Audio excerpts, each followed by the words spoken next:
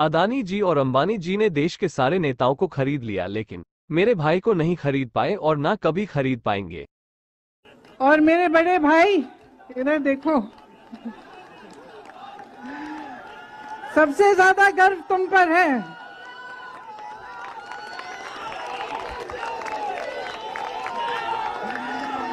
क्योंकि क्योंकि पूरा सत्ता का ज़ोर लगाया गया।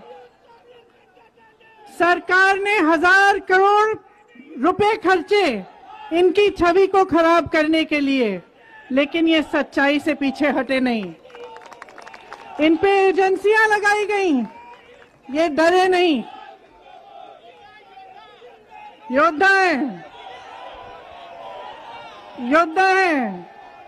अडानी जी, अंबानी जी ने बड़े से बड़े नेता खरीद लिए, देश के सारे पीएसयू खरीद लिए।